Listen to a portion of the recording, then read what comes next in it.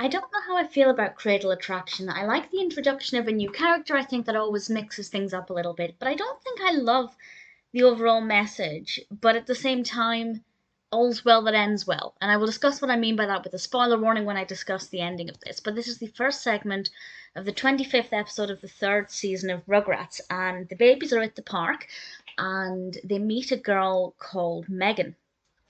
And this girl is picking on Chuckie, calling him names, calling him chunky. But it turns out actually she really likes him. And I don't agree with being nasty to somebody because you like them, but pulling pigtails is a kind of classic you know stereotype that children well usually boys do to girls um, to show they like them so actually it was quite good that it was the other way on that it was a girl picking on a boy rugrats actually is quite good at going outside of gender stereotypes which is definitely something in the show's favor and um, very much ahead of its time much to the show's credit and chuckie realizes that actually he kind of likes her too and they start being mean to each other and pushing each other around and rough playing and I don't like the fact that Chuckie had to change the way he behaved just for her. So I feel like that wasn't a great message, but as we go towards the end, things change a little bit. I liked Megan as a character, or rather, I liked to observe Megan as a character. I didn't like her personality, but it was fun, you know, a nice change of pace to have another another child in there to see how the other babies react to her. Um, Tommy, Phil, and Lil kind of took a bit of a back seat here.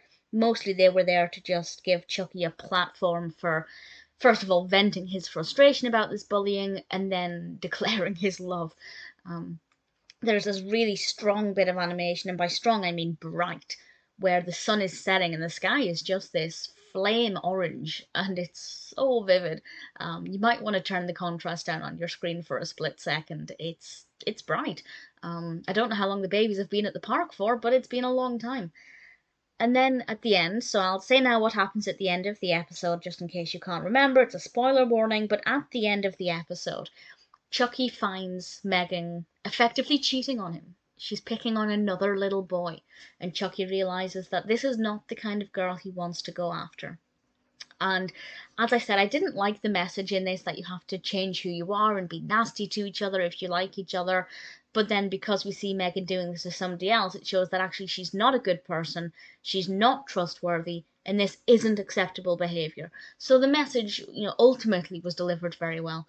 Uh, Chuckie was just adorable. He's so sweet. Chuckie is such a great character, and you know, I really enjoyed him in this. I didn't like seeing him being picked on, but I think the narrative developed quite well.